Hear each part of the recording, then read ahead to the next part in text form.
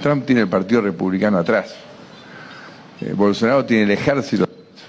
Usted quiere un outsider, la Argentina va a votar un outsider, que no conoce a nadie, no tiene relaciones con nadie, a él, su hermana, los cuatro perros, y él va a arrancar, porque los argentinos decidieron dar un mandato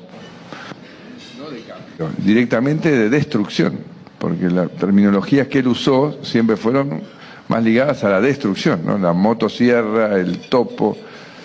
En serio, es un milagro lo que ha hecho Javier eh, llegando él con su hermana y, digo yo y los cuatro perros. Él con su hermana y, y digo yo y los cuatro perros. Obviamente da a veces batallas que no debería dar, lo hemos hablado, pero la gente también votó a alguien sabiendo que tenía una psicología especial. La gente no es tonta, la gente votó a alguien con un mandato destructivo y de, confrontación. Pero la gente también votó a alguien sabiendo que tenía una psicología especial.